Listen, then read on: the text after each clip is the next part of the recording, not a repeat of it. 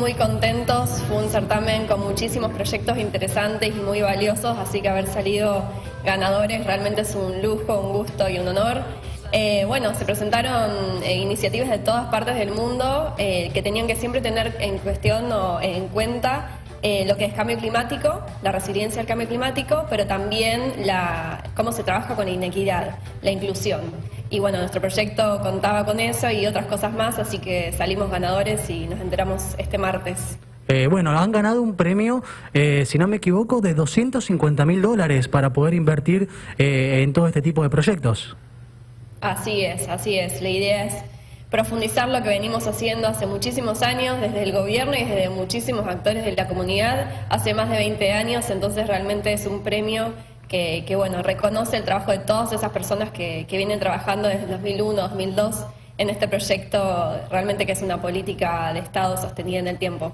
Eh, veo también la, la escena y, el relieve, algunas estampas en Rosario de, huertas comunitarias, como decías vos, de, trabajo de hace más de 20 años, eh, que esto eh, a, la vez recicla distintos espacios, revive y, le da otro tipo de identidad y también genera mano de obra.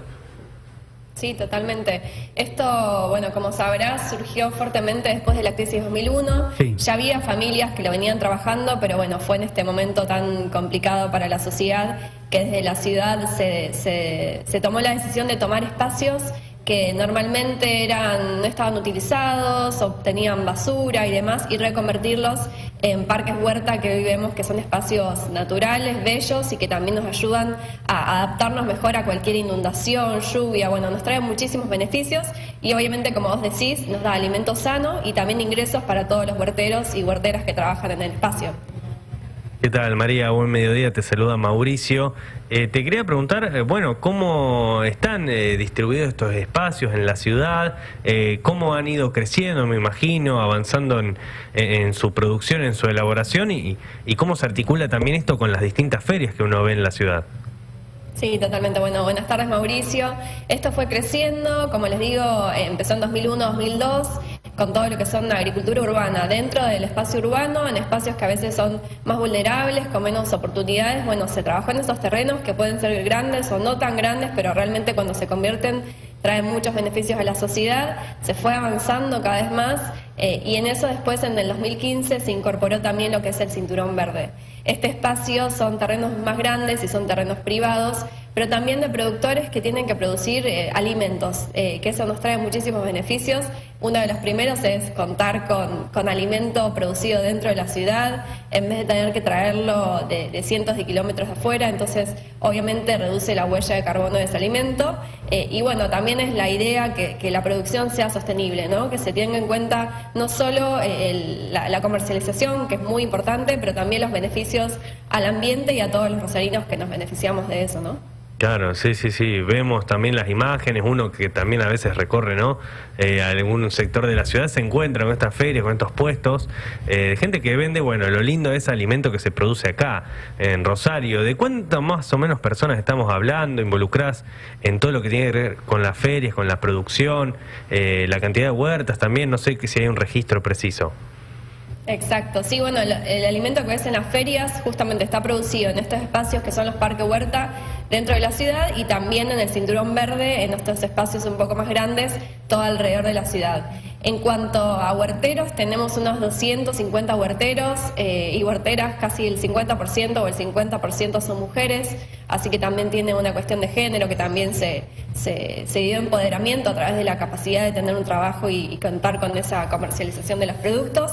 Así que ese es el número de huerteros. También sumar, eh, bueno, muchísimas familias que se sumaron al movimiento teniendo huertas en sus casas, que son 2.400 familias que tienen huertas en sus propias casas, así que también saber a, a cualquiera que esté escuchando que se pueden sumar eh, de diferentes formas, comprando los alimentos, pero también produciendo huertas en sus casas, teniendo composteras. Bueno, hay muchas medidas que uno puede ir tomando paso a paso que desde el gobierno obviamente tenemos que, profundizar y acompañar.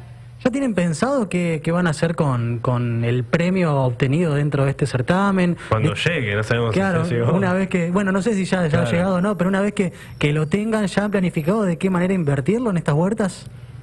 Sí, lo vamos a estar contando un poco más adelante, pero bueno, estamos trabajando, somos muchas personas involucradas, pero la idea obviamente es aprovechar este momento clave para darle un, impulso nuevo a todo lo que es agricultura urbana y periurbana.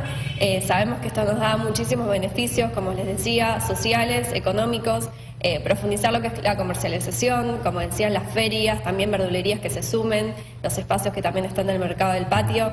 Bueno, la idea es como tomar este, este premio que no solo es el dinero, sino también es el reconocimiento a nivel internacional a todos estos actores, tanto público como privado, que vienen trabajando, diciendo esto es algo que, que realmente muchas ciudades están queriendo aprender de nosotras, entonces también es como valorar lo nuestro, que a veces no lo valoramos.